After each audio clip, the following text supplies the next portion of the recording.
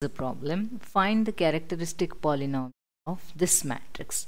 Now when you look at this matrix it is a block triangular matrix. You can uh, divide it this matrix in different blocks yes now when you look at this matrix these are the diagonal blocks. So the block below the diagonal block is 0 hence it is an upper triangular block matrix. Now the individual blocks are a equal to 9 minus 1 8 3 these are the diagonal blocks. A2 equal to there are two diagonal blocks. 3 6 minus 1 8 as it is triangular block matrix to find the characteristic polynomial of this triangular block matrix we have the formula delta of t equal to delta of a1 of t and delta a2 of t. The product of characteristic polynomial of diagonal blocks. So the characteristic polynomial of this matrix M is the product of characteristic polynomials of diagonal blocks. So these are the two diagonal blocks. Find the characteristic polynomials of A1 and A2. Then find out the product to get the characteristic polynomial of M. So what is the characteristic polynomial of A1?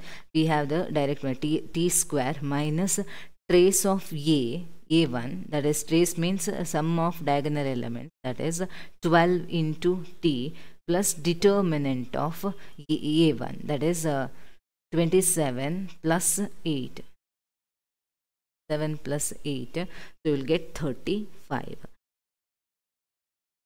characteristic polynomial we have to split it into factors now.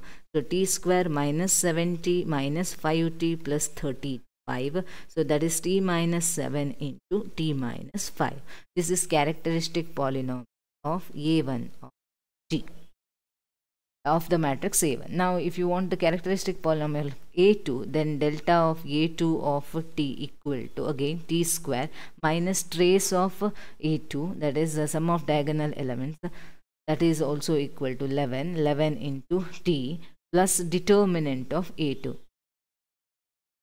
plus 6 that is 30 will get t square minus 60 minus 5t plus 30 factorizing that is t minus 6 into t minus 5 so hence the characteristic polynomial of the given matrix is equal to the product of characteristic polynomials of diagonal blocks. So find out t minus 7 into t minus 5 into this t minus 6 into t minus 5.